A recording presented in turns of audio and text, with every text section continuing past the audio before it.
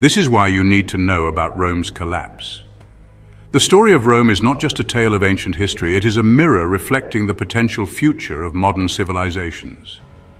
Understanding the rise and fall of the Roman Empire provides us with invaluable insights into the dynamics of power, governance and societal resilience. It is a cautionary tale that underscores the importance of learning from the past to navigate the complexities of the present and future. The lessons from ancient history may just save our modern world. By examining the successes and failures of Rome, we can glean strategies to address contemporary challenges.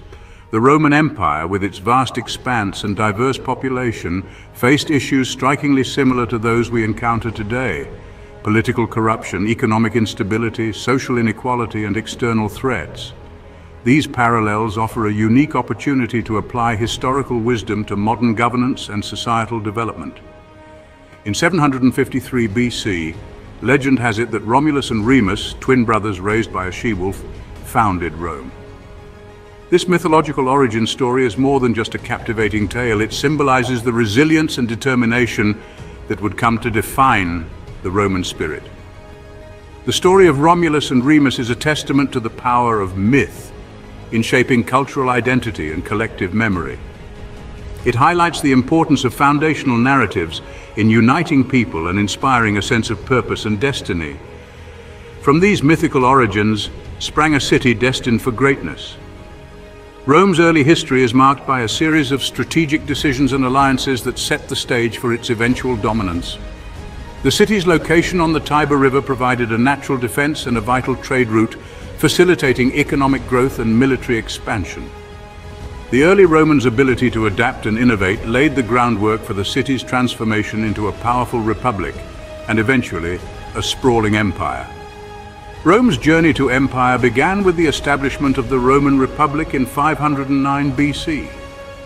This new form of government, characterized by a system of checks and balances, was revolutionary for its time. The Republic's structure allowed for a more inclusive and participatory political process, fostering a sense of civic duty and responsibility among its citizens. The Roman Republic's emphasis on the rule of law and the separation of powers would later influence the development of modern democratic systems. Power was shared among elected officials, fostering both civic duty and military excellence.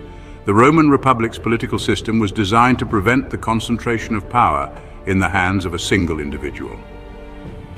This distribution of authority encouraged active participation in public life and promoted a culture of accountability and transparency. The Republic's military prowess, exemplified by the disciplined and formidable Roman legions, was a direct result of this civic-minded approach. The legion's success in expanding and defending the Republic's territories was a testament to the effectiveness of Rome's political and military institutions. Think of the Roman legions, disciplined and relentless, expanding the Republic's reach. The legions were not just soldiers, they were engineers, builders and administrators. Their contributions to infrastructure, such as roads, bridges and fortifications, facilitated the integration of conquered territories and the efficient administration of the vast Roman domain. The legion's discipline and adaptability were key factors in Rome's ability to maintain control over its diverse and far-flung provinces. The Punic Wars against Carthage, Hannibal crossing the Alps with elephants, epic tales of conquest and resilience, these conflicts tested the limits of Roman endurance and ingenuity. The Punic Wars, particularly the Second Punic War, showcased Rome's ability to recover from devastating losses and adapt to new military challenges. Hannibal's audacious crossing of the Alps remains one of the most remarkable feats in military history, demonstrating the strategic brilliance and determination of Rome's adversaries. Rome's eventual victory in the Punic Wars solidified its status as a dominant Mediterranean power and set the stage for further expansion. The Republic's end came with Julius Caesar. His rise to power marked a turning point in Roman history, Caesar's military conquests and political maneuvers challenged the traditional republican institutions and paved the way for the transition to imperial rule. His assassination in 44 BC, a dramatic and pivotal event, plunged Rome into a series of civil wars that ultimately led to the demise of the Republic. The power struggles and political intrigue of this period highlight the fragility of republican governance in the face of ambitious individuals and shifting allegiances. His rise and assassination in 44 BC triggered civil wars, leading to Augustus establishing the Roman Empire in 27 BC. Augustus, formerly known as Octavian, emerged as the victor in the power struggles that followed Caesar's death. His establishment of the Roman Empire marked the beginning of a new era characterized by centralized authority and relative stability. Augustus's reign, often referred to as the Pax Romana, brought about significant administrative, economic and cultural advancements. The transition from republic to empire was a complex and transformative process that reshaped the political landscape of Rome and set the stage for centuries of imperial rule under Augustus, Rome flourished from Britain to Egypt, engineering marvels like aqueducts and the Colosseum standing as testaments to its glory.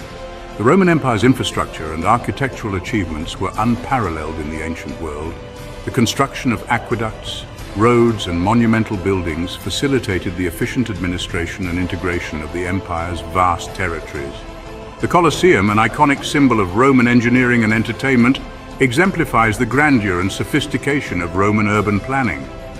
These achievements not only enhanced the quality of life for Roman citizens, but also demonstrated the empire's ability to harness and apply advanced technological and engineering knowledge. But even Rome's grandeur couldn't shield it from internal strife and external pressures. The decline of the Roman Empire was a gradual and multifaceted process.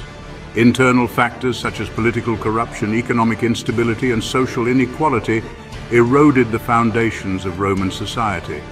External pressures, including barbarian invasions and military defeats, further weakened the empire's ability to maintain control over its territories.